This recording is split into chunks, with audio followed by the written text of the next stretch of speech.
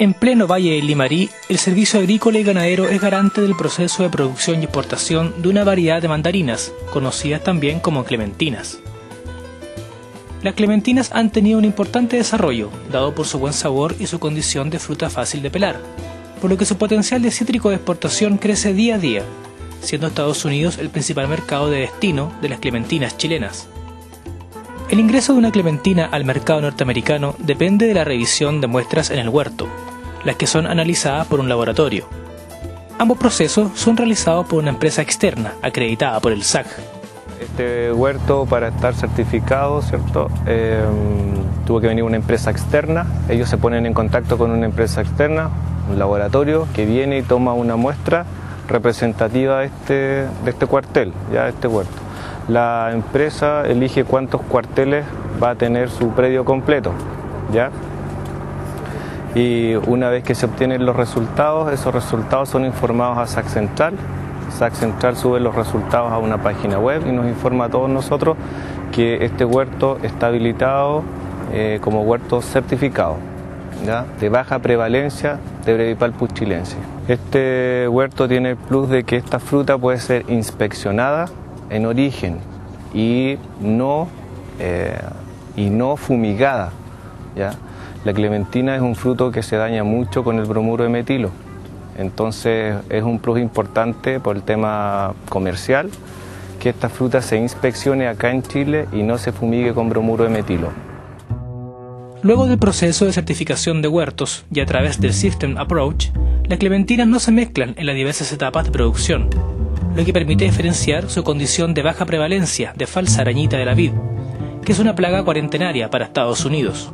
Uno de los principales eh, objetivos del System Approach para cítrico es el tema de no eh, mezclar condiciones de los huertos. ¿ya? tienes huertos que están certificados y huertos no certificados. Entonces el principal objetivo, como te decía, es que estas condiciones se mantengan de manera diferente en las líneas de proceso, en las recepciones, en los desverdizados y en cada una de las etapas que se mantiene durante todo el proceso. Hay fruta que recibimos desde campo, ¿cierto? Que viene, em, no viene con el color adecuado, ¿ya? Y ante eso, ¿cierto? No viene con el color adecuado, si viene con un color verde y las empresas le realizan un tratamiento ¿ya? de desverdizado, ¿ya? con etileno y con humedad, ¿ya? con condiciones especiales. Ese proceso implica, ¿cierto?, que mm, se le, luego de, por el tema del etileno, ¿cierto?, y con esta humedad que te digo yo y temperatura, la fruta cambia de color, ¿ya? la fruta por dentro ya tiene los sólidos solubles óptimos, ¿cierto? Eh, el tema es solo el color, es un tema comercial de ellos. ¿Qué nos interesa a nosotros como SAC? Que incluso en ese desverdizado se mantenga la separación, ¿ya? se mantenga esa distancia que yo te mencionaba recién de un metro entre las dos condiciones. Tal como recalca Fernando Robles, el SAC vela porque la condición de la fruta, en relación al sistema de baja prevalencia de Brevipalpus chilensis, se mantenga a lo largo de todo el proceso. Ya en la planta frigorífica, la selección continúa su marcha.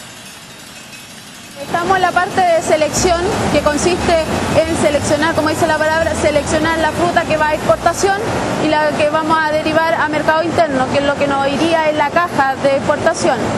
La pauta la marca eh, siempre el exportador. Él decide qué fruta quiere meter en su caja para exportar a los distintos mercados, fuertemente Estados Unidos, y lo distinto a eso se va al mercado nacional. El auspicioso escenario que presenta la Clementina ha transformado la región de Coquimbo en la principal zona productora, concentrando un 50% de la superficie plantada a nivel nacional. Estas cifras han impulsado la creación de cientos de empleos y la apertura de mercados como Estados Unidos, Canadá, Unión Europea y Japón, destinos que recibieron durante el 2009 más de 32.000 toneladas de clementinas. Que, que haya mucha más pega, que, se está metiendo fuertemente, hay muchas más hectáreas de clementina hoy día y hay varios campos que ya están metiéndose con mucho más clementina y naranja también y algo de limones que estamos haciendo hoy día. La labor del SAC es fundamental para asegurar un correcto procedimiento en las diversas etapas de producción. Gracias a su fiscalización permanente, asegura que nuestras exportaciones viajen con el respaldo necesario a los diversos destinos. Nosotros tenemos una muy buena relación con el servicio agrícola. Eh, ellos son principalmente facilitadores del, de la exportación. Generalmente, o sea, no siempre están cumpliendo con todos nuestros requerimientos, nuestros requerimientos de horario, que para el caso de la Clementina son, pueden ser bastante complicados.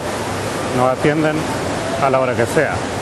A veces necesitamos muestrear de madrugada, ellos vienen de madrugada. Las clementinas ya están listas para su destino final. Auspicioso panorama para esta fruta que va ganando mercados día a día. Destacable labor del SAC, que vela por la correcta producción de estos cítricos, que están dando nuevo impulso productivo a la región de Coquimbo.